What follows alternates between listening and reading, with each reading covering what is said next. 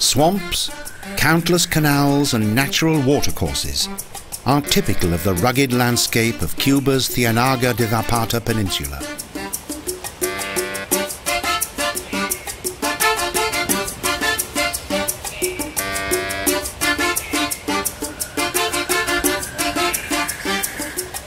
This, the Montemar Nature Park, that is located in the southern part of the Cuban province of Matanzas, is regarded as one of the largest wetlands in the entire Caribbean.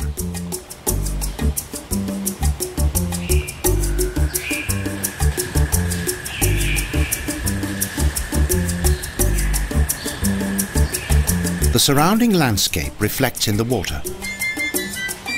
But in addition to its visual charms, the landscape is a vital habitat for several endangered species of bird.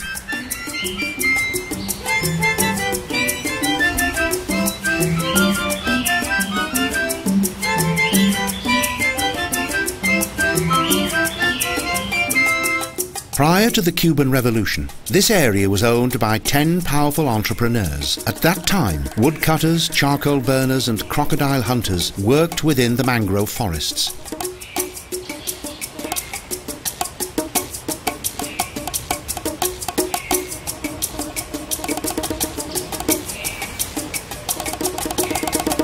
Although the work of the traditional charcoal burners still takes place, a fairly new source of income has become increasingly important.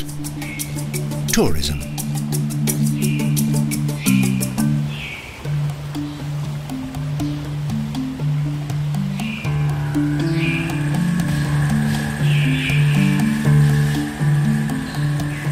Of the park's 180 varieties of bird, 23 are endemic birds that only live on the Ciénaga de Zapata Peninsula. Thanks to their large numbers, they are relatively easy to observe.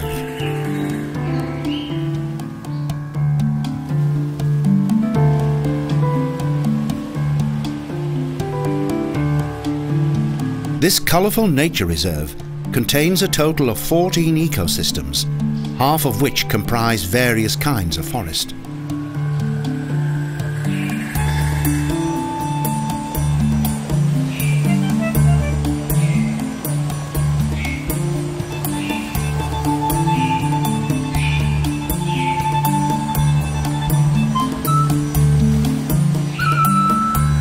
Regions that are located above the treetops and palms are very lively places. Birds are in abundance, and some circle the ground in search of prey.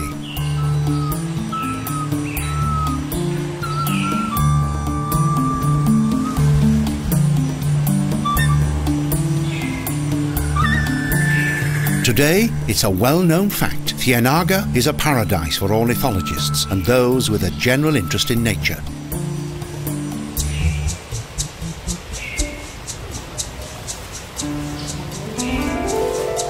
The natural canals within this swampy landscape are a complex system of mazes. Cuba's Rio Hatiguanico, a river that carries a huge volume of water, flows through these idyllic wetlands.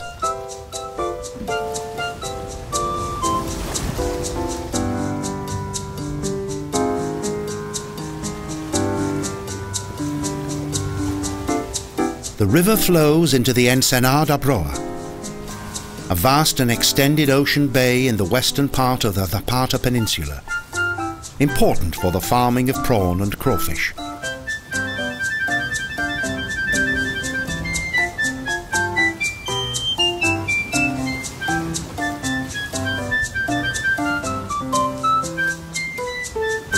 The most extraordinary example of this region's wetlands is an ancient fish. For many years it was believed to be extinct, but here in Cuba it has managed to survive.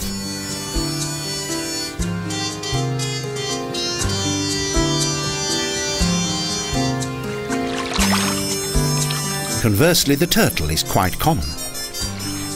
The river and swamp areas of Ciénaga de Zapata are considered to be one of the few remaining large natural habitats in the Caribbean.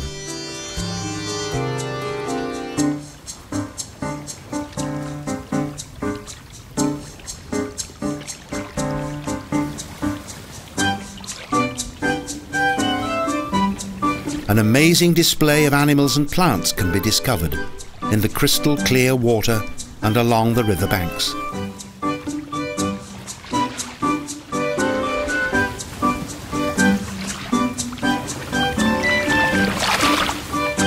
The small boats move cautiously through some of the remotest sections of the nature reserve, for the water contains hidden dangers.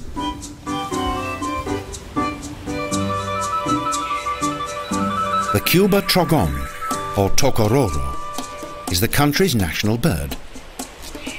Each colour of the Cuban flag is contained in the feathers of this intriguing bird.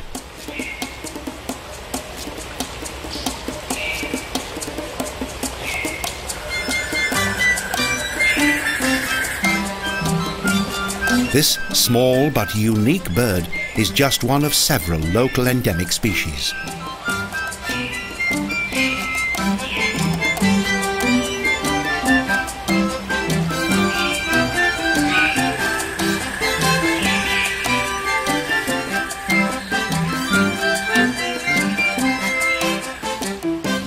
Landscape of the Salinas is totally different. In this savanna-like environment, the vegetation is quite scant.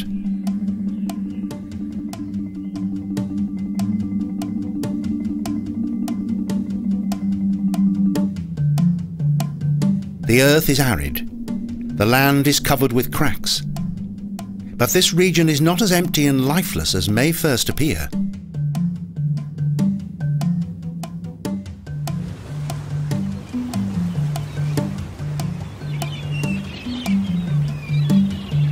The natural landscape of the Salinas consists of water and dry plains.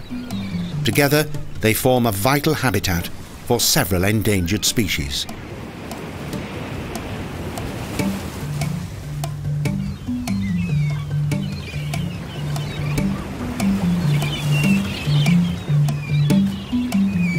It comes as no surprise that bird lovers and ornithologists from all over the world come here to observe flamingos and other exotic birds in a free and natural environment.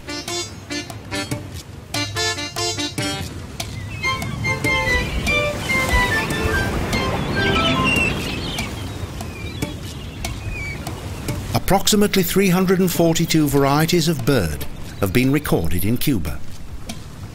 The majority inhabit the Zapata Peninsula.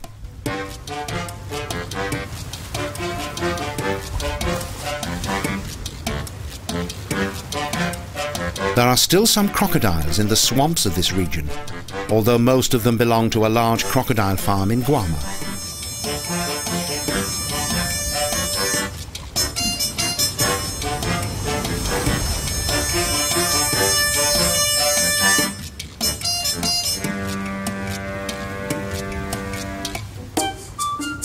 Up to 40,000 crocodiles live in the fenced lakes of the farm.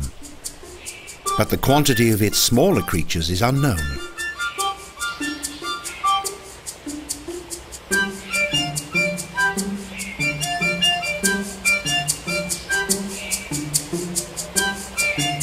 The fascinating and unique beauty of this natural ecological area of the Caribbean gradually reveals itself to those who come here for the first time.